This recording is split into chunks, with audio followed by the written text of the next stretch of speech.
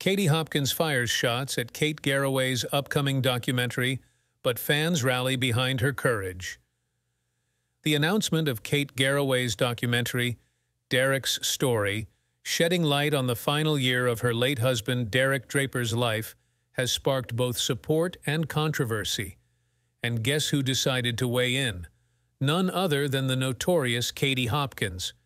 Katie didn't hold back as she took to Instagram to throw shade at Kate's project, sarcastically dubbing it Life After Derek, and poking fun at the notion of unseen footage. But the real kicker? Speculating about the documentary's contents, including an unexpected cameo by Alan Titchmarsh.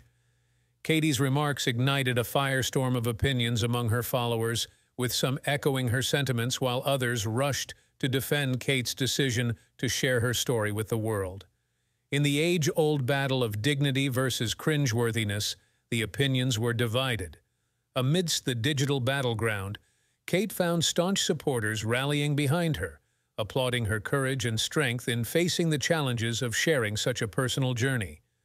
From heartfelt messages on social media to expressions of admiration for her resilience, the outpouring of support was palpable, Kate herself has acknowledged the weight of the project, admitting her concerns about its impact, but ultimately honoring Derek's wishes to shine a light on the healthcare system and his perspective.